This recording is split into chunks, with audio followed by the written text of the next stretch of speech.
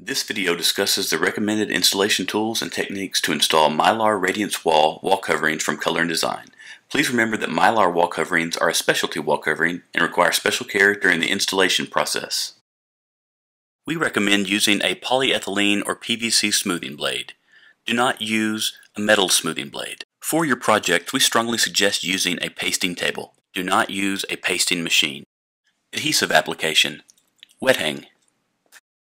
For adhesive, we recommend using Roman Decorating Pro 732 Extra Strength Clay Adhesive or Roman Pro 774 Clay Strippable for roller pasting on pasting table. Whip or stir. Apply at full strength. To ensure manufacturer's warranty, do not dilute adhesive. Use a 3 8 inch NAP application roller.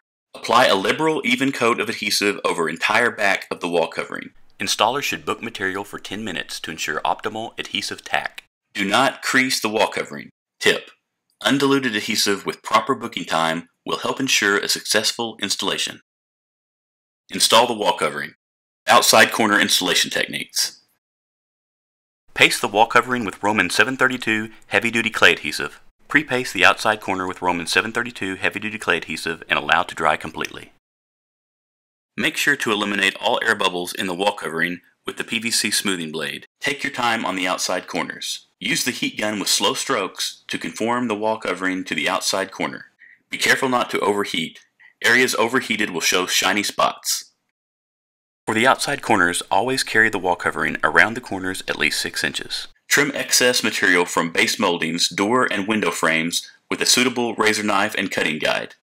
If you're having difficulty with the wall covering adhering to the corners, here's another option. Using a paintbrush, apply an additional 1 inch band of adhesive from each edge of the corner with Roman Pro 555 vinyl over vinyl wallpaper adhesive. The biggest mistake the installer can make is to rush this step. Take your time. Seaming.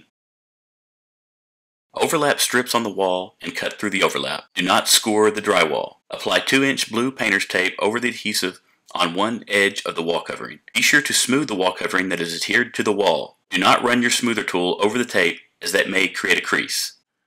Overlap the strips about 2 inches.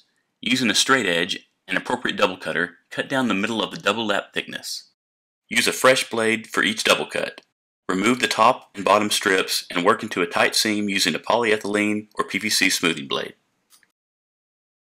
Inside corners. During installation of inside corners, the wall covering may wrinkle. To minimize any wrinkles or creasing, we recommend cutting a seam at the inside corners.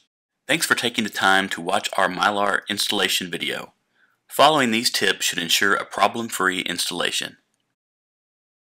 We would like to thank Roman Decorating Products in Zinsser for the use of their products throughout this instructional video. Color and Design proudly endorses the Wall Coverings Association.